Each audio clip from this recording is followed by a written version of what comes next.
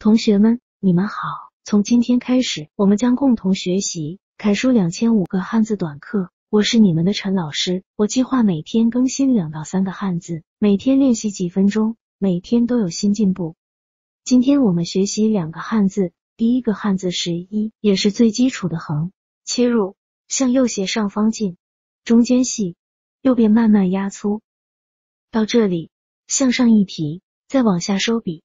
好了。这就是一的写法，一呢其实就是长横。以后我们更新基本笔画还会再讲解。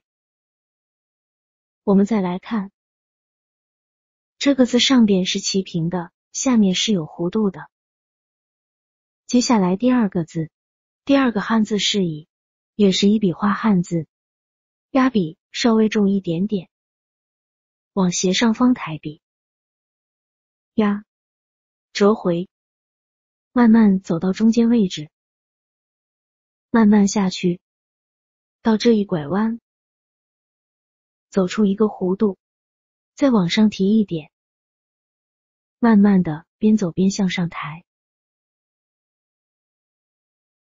往上一提，